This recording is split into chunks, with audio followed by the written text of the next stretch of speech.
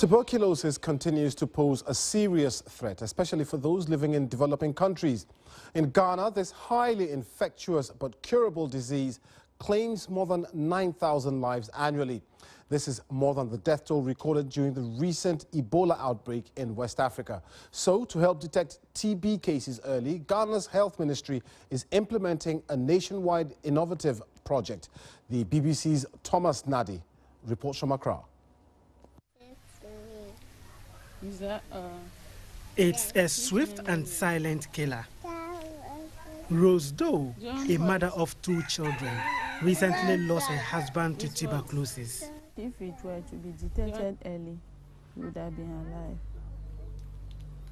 And I have two kids around to take care of alone. Asking of their daddy every day, it has been too difficult.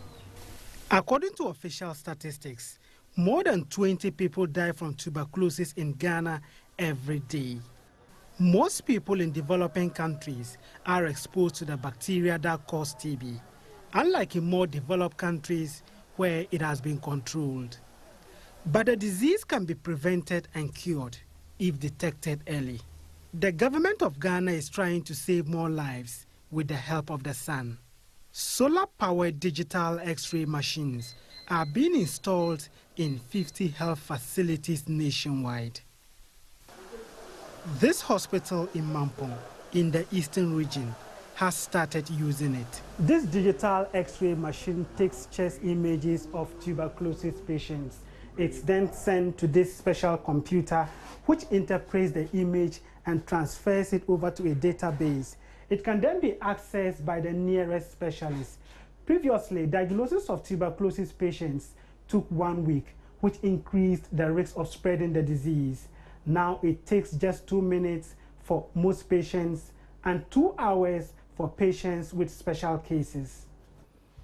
Denchi Bekun is the radiographer in this facility. We had a challenge with our x-ray machine. It was not working for the past two years.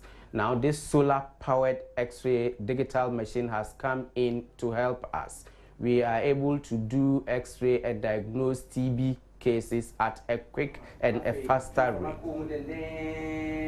This may be a breakthrough, but there's still the problem of stigma, which is preventing people from coming to test for the disease. However, it's an innovation that is expected to change the tide of tuberculosis in the country. Thomas Naadi, BBC News, Accra.